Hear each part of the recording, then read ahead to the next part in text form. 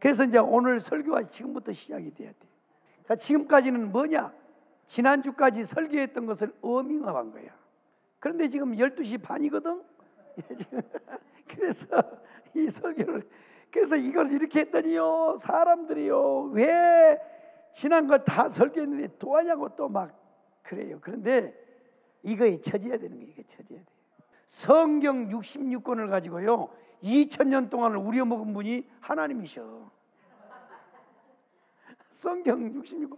만약에 이걸 적용한다 그러면 계속해서 성경을 써줘야 될 거예요. 새로운 말씀을. 근데 우리 하나님은 66권을 가지고 2000년을 써먹어버려. 재탕 중에 재탕이 성경이에요. 그런데요, 성령이 강타하면 이 말씀이 늘 새로운. 나의 처지와 나의 형편에 따라 다 말씀이 달라.